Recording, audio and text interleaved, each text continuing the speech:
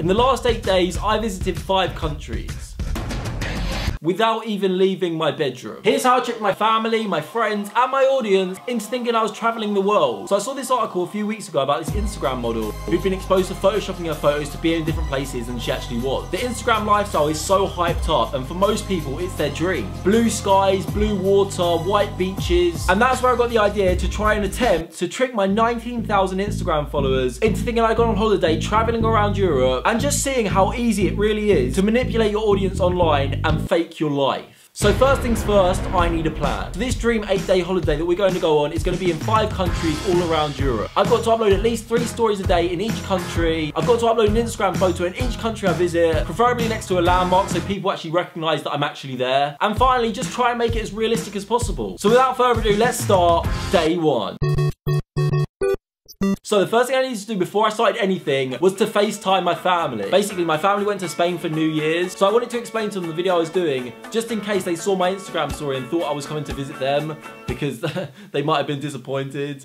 You can always come, George. No, I couldn't. I had work to do. So now it's time for step one. I went on Twitter and put out a tweet saying, So last night I booked a really spontaneous eight day trip around Europe to five countries. I'm leaving tonight, first stop Spain, to go and see my family. I'm literally only doing this for the Instagram. So now the tweet was out there. We were fully submerged in this. There was no going back now. And it's fair to say, I was struggling with the guilt. I hate lying. I feel so uncomfortable right now. I honestly don't like this at all. Lying to them, it just doesn't feel nice. I've told them I'm going to Europe when I'm not. I just feel so bad lying. I hope you have the most amazing time. This is the thing, I'm not a good liar. But yeah, right now it's about two o'clock and I'm gonna leave for the airport about four. Well, I'm not actually gonna leave for the airport, but I'm gonna try and like trick you guys into believing that I've left for the airport. I then searched my house for a suitcase. Did an Instagram story, basically saying the same thing I said in the tweet for my Instagram followers. Next, I went into my garden, took some photos of myself that I could then later edit them into the countries that I visit. I even went as far as driving my car into the middle of the road just to take a photo so it looked like I was in the car going to the airport. And then a couple of hours later, I was looking for my phone and I found an old photo that I took at the airport during the summer. So I posted that on my story and we were now officially in Spain. Let's get it!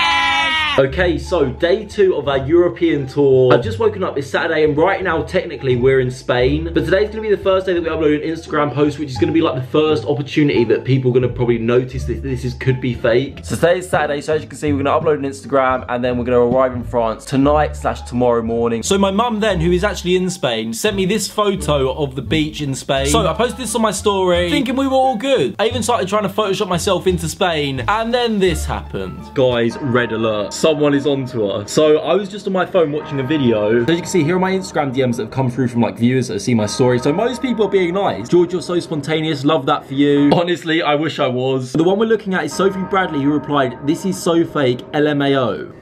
What? Uh, how have we already been caught doing this? But Sophie wasn't going to stop us. So to then make it more realistic, I went down to the end of my garden to our summer house, but I couldn't risk anyone else calling us out. So to make it even more believable, I put some Spanish TV on in the background. Pero hoy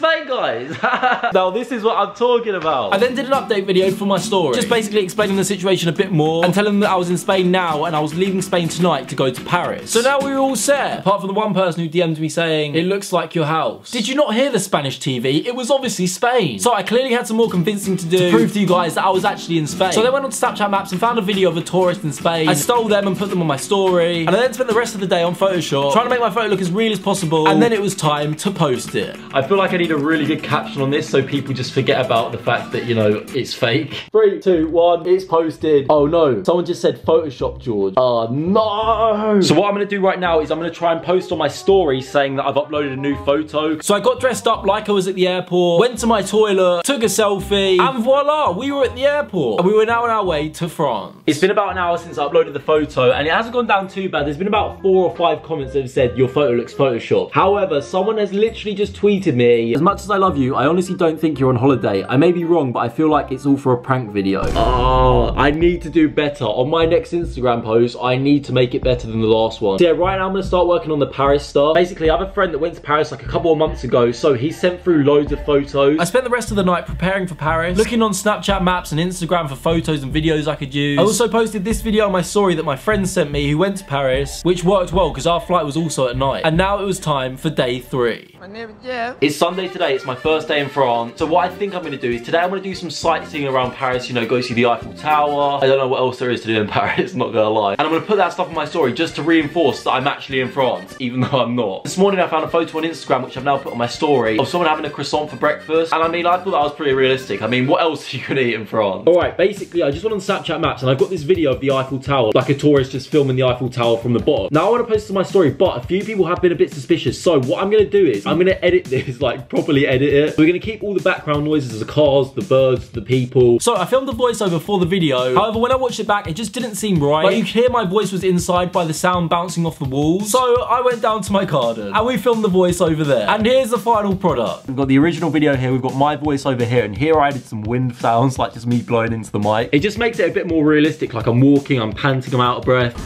Here it is. We have found it, the Eiffel Tower. Look how big it is. Oh my gosh, this is sick. I carried on looking on Snapchat maps and I found another video, this time at the top of the Eiffel Tower. So I did the same thing with a voiceover, and this is how this one turned out. Okay, so I think I found the photo that I'm gonna use for Instagram. So once again, my friend that went to Paris actually sent me all his photos that he got when he was in Paris. So here's the original photo he sent me. We were lucky because when he went, it was kind of overcast and the sky in England is pretty much the same sort of color. So I had to take advantage of this weather whilst it was still here. So I called my friend Endrit. Yep, that's Endrit. And we went down to Morrison's car park and he took some photos of me that I can now put in Paris.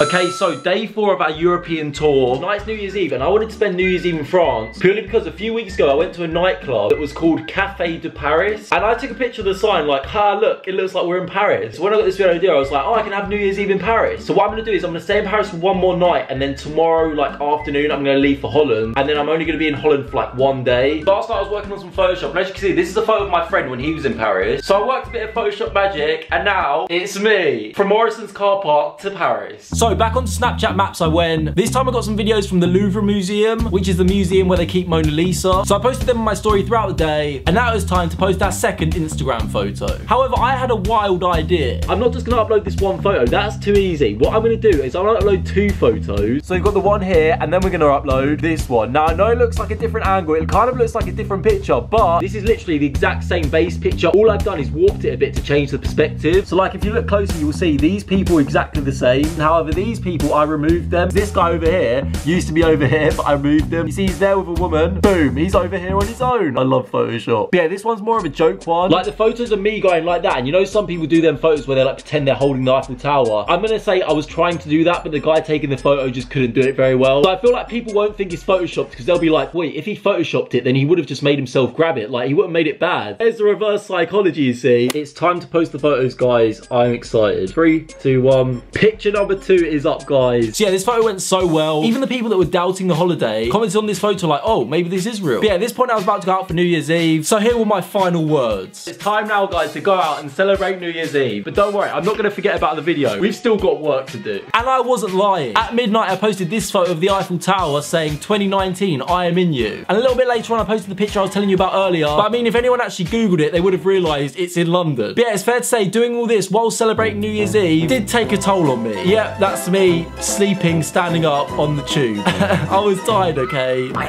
crush next Woo!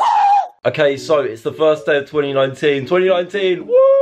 I'm so tired. Uh. So today I had to travel from Paris to Amsterdam. But I had an idea. For this journey, I'm thinking about switching it up a bit. Instead of getting a plane, I think we should get a coach from Paris to Amsterdam. It's cheap as well. It's only about 13 pounds. That's believable. You guys know I always do the cheapest option, so. So once again, the travel clothes came out. We went back into my garden and did another update explaining that I'm about to get a coach from Paris to Amsterdam. So guys, here is our coach. So in the car, I took a selfie. I then edited it on Photoshop to make it look more like a coach. I posted it on my story with the questions thing just to make it more realistic. Because I swear, every YouTuber that goes on a road trip does one of them question things. I answer pretty basic questions, and then someone asked me what snacks I've got on the road trip. So to make it more believable, I went all the way to Morrison's and grabbed the most French-looking snack I could find, even though I'm pretty sure it's like Polish or something. I don't know. But it's definitely not French. But it's not English either, so it's believable to me. So I posted these on my story, and after a couple of hours, this happened. Guys, you're not gonna believe this. I've just realized I've lost followers. I was on 19,500 500 followers. I'm now on 19,400 followers. You know, I was 500 followers away from 20,000. Now I'm 600 followers away. Guys, if you're watching this and you don't follow me on Instagram, please follow me. Get me to 20k. You've got no friends. So I arrived Amsterdam last night. I just put a little video on that I found on Snapchat Map just to show people that I actually arrived. We're not spending long in Amsterdam. We're literally leaving today. So it's like it's pretty much like 24 hours. I also need to upload a new Instagram because, you know, I'm trying to take one in every single country. All right, so I found a photo that I think looks pretty cool and I feel like I could put myself in it well. So here's the photo. It's a good photo. He's sitting on the railings, blah, blah, blah. I feel like I can like edit myself in. Like, however, there's one problem. What are those? Uh, they're Balenciagas. And they cost 650 pounds.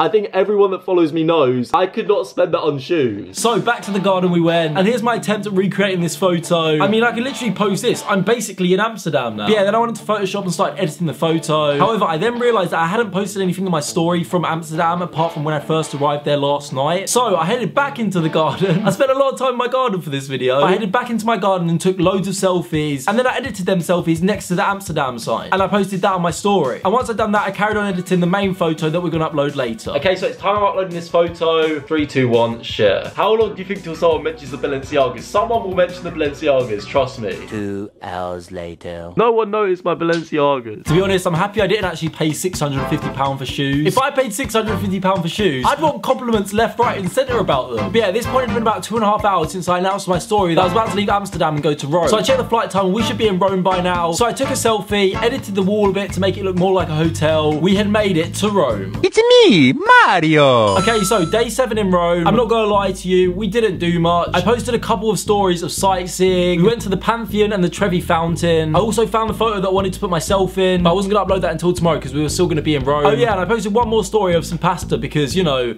it's Italy. But yeah, that's pretty much all that happened in day seven.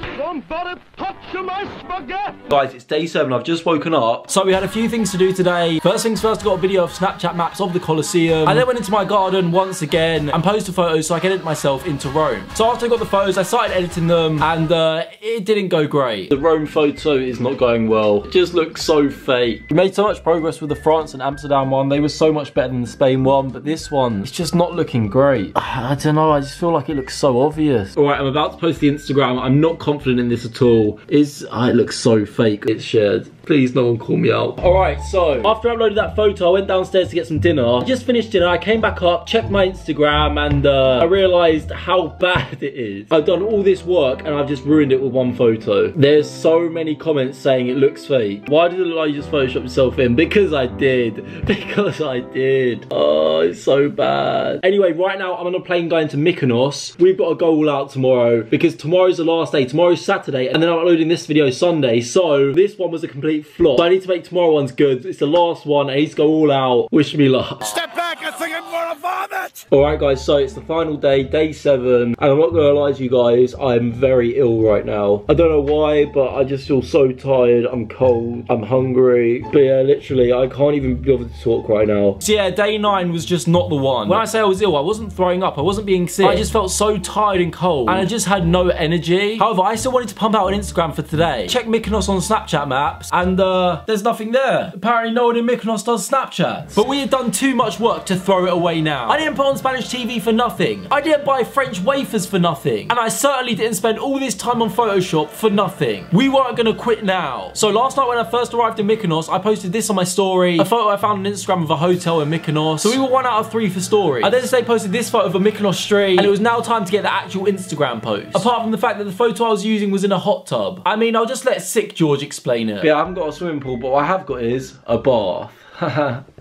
I'm too ill for this. Okay, our hot tub is ready. So yeah, I literally got in the bath, posted photos. You can see how much I'm hating my life at this point. So I worked on the photo as much as I could, but it just looked so bad, so I decided not to post it. However, this is where you come in. When this video goes up, I'm gonna post this Mykonos picture on my Instagram. I need all of you watching this to come together as one, to come together as a nation, the George Mason nation. And I need you to go over to this Instagram post, like the Instagram post, comment on the Instagram post, send it to your friends and family, and just trying to convince everyone that hasn't seen this video that this post is real. I went to Mykonos. But then finally, to complete our tour, I posted this photo at Mykonos airport of me about to get on my private jet. And with that, our holiday was over.